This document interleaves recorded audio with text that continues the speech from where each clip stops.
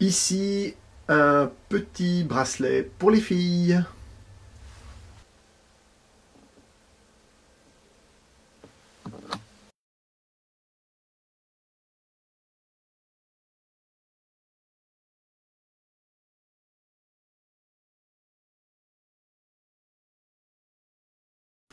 Du caniche.